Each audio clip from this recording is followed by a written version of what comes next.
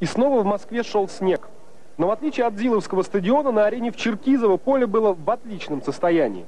А все дело в том, что руководство лучшего российского стадиона заблаговременно накрыло газон пленкой, которую сняли лишь за полтора часа до начала матча, усилиями специально приглашенных военных. Опробовав поле, футболисты питерского «Зенита» стали изучать предматчевую программку, но информация о сопернике это им, видимо, не добавила. По крайней мере, стартовый натиск Лока они сдержали с трудом. Уже на пятой минуте Лоськов навесил штрафную, где Цезарь выложил мяч Ликхетом, но удар южноафриканца пришелся выше ворот. Буквально две минуты спустя вновь капитан Хозяев выступает в качестве ассистента. На этот раз передачей не воспользовался Манинов, чей удар отразила штанга. Чего не могли сделать железнодорожники, сделал соперник. Лоськов пробил штрафной, Малафеев играет неловко, выпускает мяч из рук.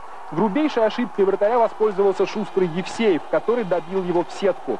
1-0. А незадолго до перерыва Евсеев сделал дубль. Опять стандарт. На этот раз угловой. Опять Лоськов. Лучший игрок встречи. Навес и новоиспеченный бомбардир «Локомотива» выпрыгивает выше спивака. И счет становится 2-0. Во втором тайме поначалу хозяева продолжали атаковать. Моменты были у Бузникина и Сезера, а потом успокоились.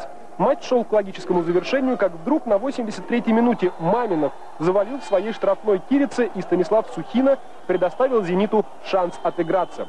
Футболисты «Локомотива» пытались было апеллировать к Лайнсмену, но он лишь подтвердил решение главного арбитра. Спивак не промахнулся, и интрига матча вспыхнула с новой силой, а игра питерцев заиграла яркими красками. Но быстро прогорела. Три момента Киржакова и один Николаева не воплотились в голы. «Локомотив» спустя сутки догнал ЦСКА в турнирной таблице, и тандем лидеров уверенно движется к повторению финиша 96 -го года, золотому матчу.